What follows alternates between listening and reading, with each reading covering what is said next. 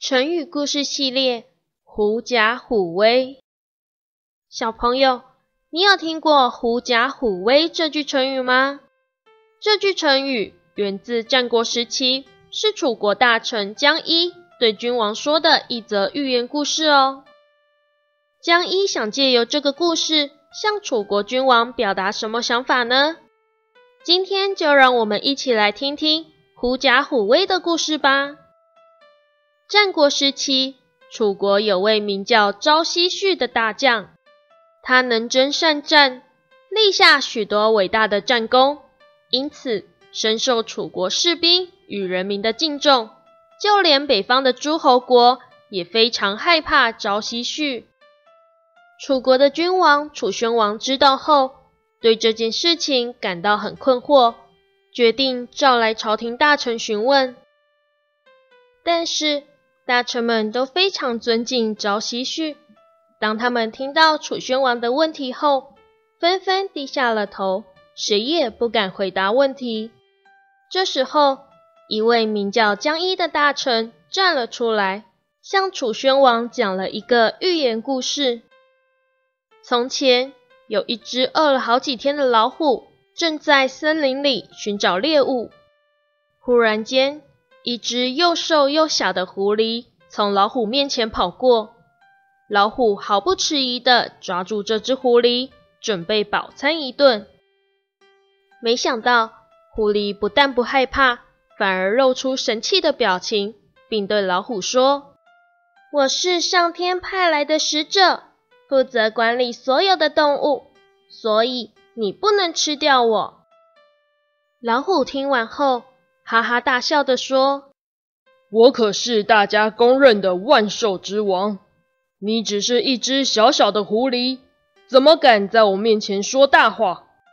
狐狸回答：“如果你不相信，可以走在我的背后，看一看其他动物见到我有什么反应。”老虎想知道狐狸说的话是不是真的，就答应跟在狐狸后面。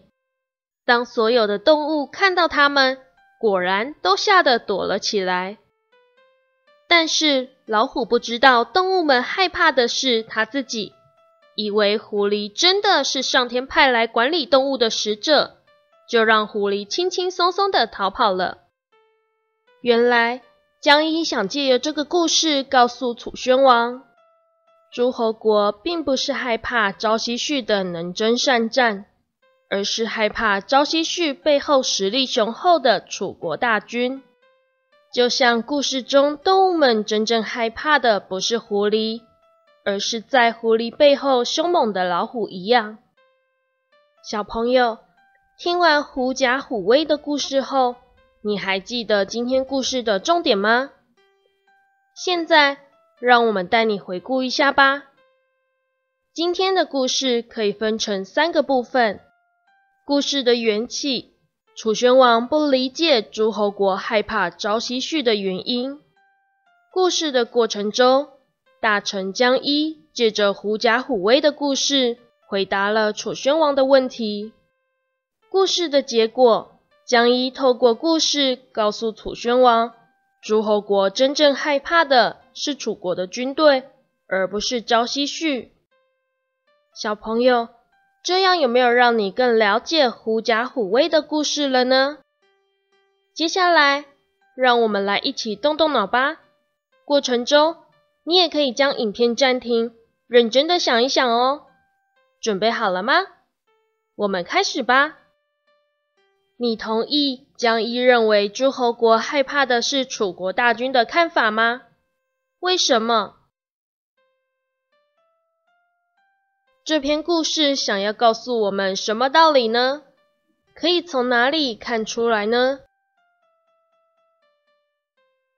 小朋友，上面两个问题你有想法了吗？快和你的家人、朋友、老师分享吧。成语小教室又到了成语小教室的时间啦！今天的成语“狐假虎威”。是比喻借着有权势者的权威势力欺压他人，主要是用来表达凭借着权势欺负别人。现在就让我们一起来看看狐假虎威可以怎么使用吧。你何必怕他？他只不过是在狐假虎威、虚张声势罢了。他平日依仗着自己的出身，狐假虎威，欺负他人。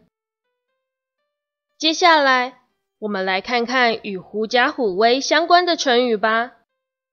相似的成语有“仗势欺人”“狗仗人势”“鼠平社贵”。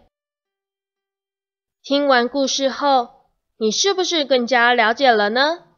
小朋友，我们下次见。拜拜。